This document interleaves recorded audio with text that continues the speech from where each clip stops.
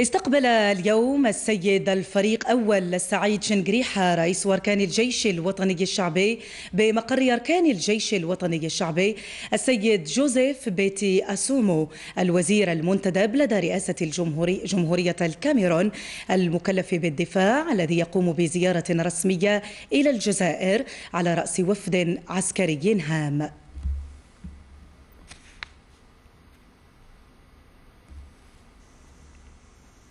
مراسم الاستقبال استهلت بتحية العلم الوطني وتقديم التحية العسكرية للضيف من طرف تشكيلات من مختلف قوات الجيش الوطني الشعبي.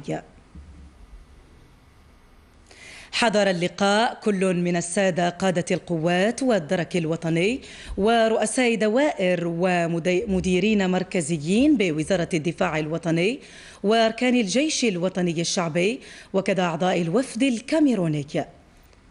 السيد الفريق أول وبعد الترحيب بالوفد الضيف أكد أن هذه الزيارة ستشكل تمهيدا لتعاون عسكري يجسد الإرادة السياسية لقائدي البلدين في إرساء تعاون متنوع ويعكس الديناميكية المرجوة في العلاقات الثنائية.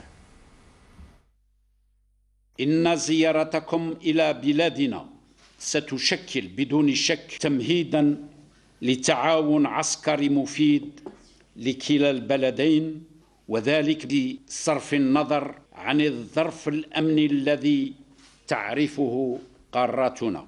كما أنها تمثل دليلا على عزمنا تجسيد الإرادة السياسية لقائدي البلدين قصد العمل سويا على إرساء أسس تعاون متنوع قائما على الحوار الصريح والتشاور المتبادل من أجل معالجة القضايا ذات الأهمية المشتركة.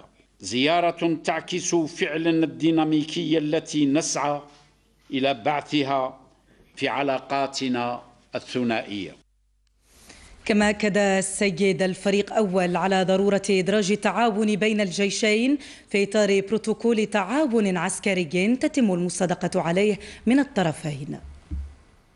وإنني على يقين أنه تحدون جميعا إرادة حقيقية من أجل العمل على إرساء وتطوير تعاون دائما قائما على أساس الثقة مع الأخذ بعين الاعتبار المصالح المشتركة وتعزيز التشاور بين مؤسساتينا بهذه المناسبة بودي إبلاغكم عن كامل استعدادنا للتشاور بخصوص الجوانب الأمنية وتبادل الخبرات في مجال تعزيز القدرات العسكرية.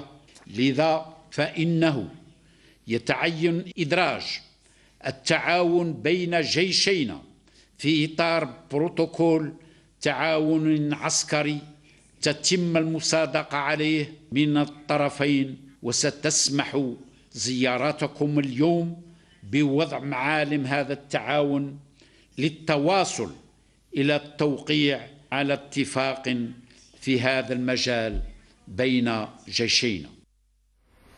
من جهته شاد السيد جوزيف بيتي أسومو الوزير المنتدب لدى رئاسة جمهورية الكاميرون بحرص الجزائر على تقوية أواصر التعاون والتنسيق مع جمهورية الكاميرون. وكذا باقي الدول الإفريقية بغية الحفاظ على السلم والاستقرار لا سيما من خلال الدعم المتعدد الأشكال الذي تقدمه في سبيل استتباب الأمن عبر كافة ربوع القارة الإفريقية. في ختام اللقاء تبادل الطرفان هدايا رمزية ليوقع بعدها السيد جوزيف بيتياسومو على السجل الذهبي لأركان الجيش الوطني الشعبي.